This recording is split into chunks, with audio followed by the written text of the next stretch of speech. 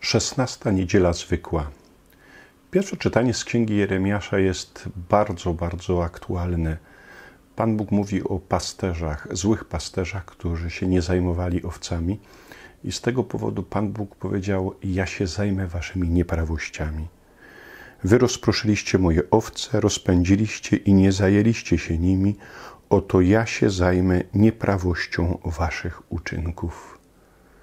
Jeremiasz bardzo często w księdze mówi o złych pasterzach, niedobrych pasterzach, ale niesamowita jest ta analogia, że tak jak dzisiaj bardzo dużo mówi się o, o grzechach księży, biskupów, można by powiedzieć, to jest to, co zapowiedział Jeremiasz, przez to, żeśmy się nie zajmowali ludźmi, żeśmy nie dbali o nich, żeśmy o nich nie troszczyli, żeśmy troszczyli się bardziej o siebie, to Pan Bóg się zatroszczy o nasze nieprawości, o nasze grzechy, nasze złe czyny.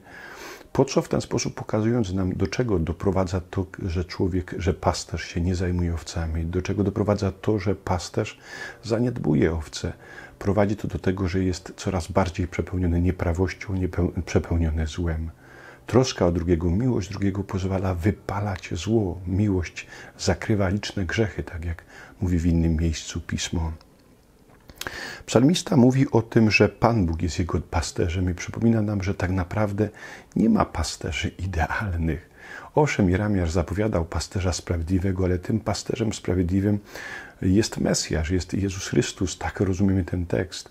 Natomiast w Psalmie 23 jest niesamowicie głęboka wiara, że to Pan Bóg jest moim pasterzem, że to On mnie prowadzi na zielone pastwiska, to On po prostu zabezpiecza całe moje życie. To jest szalenie ważne, żeby nie dać sobie w życiu powiedzieć, że, że co, że a przez to, że są źli pasterze, to ja już jestem zagubioną owcą i nie mam co robić. Nie. Masz dobrego pasterza. Skoncentruj się na Panu Bogu. Walcz przede wszystkim o Pana Boga, bo ludzie zawsze będą niedoskonali. Prędzej czy później się zawiedziesz, czy to na e, przyjacielu, czy na księdzu, czy na biskupie, czy na mężu, nawet czy żonie. Można się zawieść nawet na najbliższych osobach.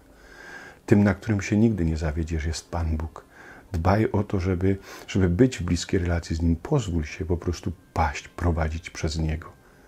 I drugie czytanie pokazuje nam, co też jest taką, takim owocem prowadzenia przez Pana Boga. Otóż święty Paweł w liście do Efezjan mówi o tym, że Chrystus zniszczył wrogość, zniszczył mur rozdzielający ludzkość, przez to, że zniszczył wrogość. On przyniósł pokój, przyniósł miłość, przyniósł pojednanie.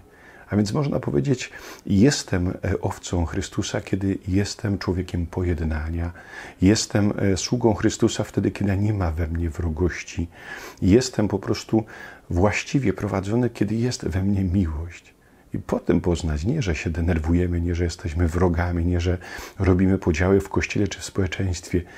I, i, kto cię pasie, że stoisz po tej czy po tamtej stronie? Kto jest Twoim pasterzem, że ciągle w Tobie jest wrogość? Kto tak naprawdę jest Twoim pasterzem, skoro nienawidzisz i chcesz nienawidzić innych? Y, niesamowicie prostą misją czy powołaniem Jezusa jest po prostu przynieść pokój.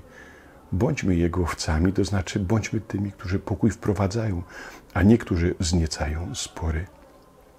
Ewangelia opowiada o tym, że Jezus jest dobrym pasterzem, i tłumaczy swoim uczniom między innymi to, że skoro bardzo byli zapracowani, odejdźcie na bok i odpocznijcie nieco. Pójdźcie wy sami osobno na pustkowie i wypocznijcie nieco, tak bowiem wielu i przychodziło i odchodziło, że nawet nie mieli czasu na posiłek. Bardzo mi się podoba to słowo nieco, bo ono pokazuje, że jest potrzebna harmonia. Jest potrzebna harmonia między pracą i między odpoczynkiem, ale ma być wiele pracy, mniej odpoczynku. Tak jak mamy sześć dni pracy, jeden dzień odpoczynku. Na początku stworzenia, że jest pewnego rodzaju harmonia. Można być zmęczonym dlatego, że się za mało pracuje, albo zmęczonym, że się za dużo pracuje. I tu każdy już musi sobie sam odpowiedzieć, dlaczego jest we mnie zmęczenie, dlaczego jestem zmęczony, gdzie jest e, zachwiana ta harmonia, gdzie jest ta zachwiana równowaga, tak jak w ciele, tak jak w pokarmie, tak jak w piciu, tak jak we wszystkim jest potrzebna harmonia. Tak samo jest potrzebna harmonia między e, pracą i między odpoczynkiem. Być dobrym pasterzem dla innych i być również tym, który słucha dobrego pasterza, to być bardzo czujnym i wrażliwym na to, żeby w życiu zachowywać właściwe proporcje, również między pracą i odpoczynkiem. Pan z wami. Niech was błogosławi Bóg Wszechmogący, Ojciec i Syn i Duch Święty. Amen.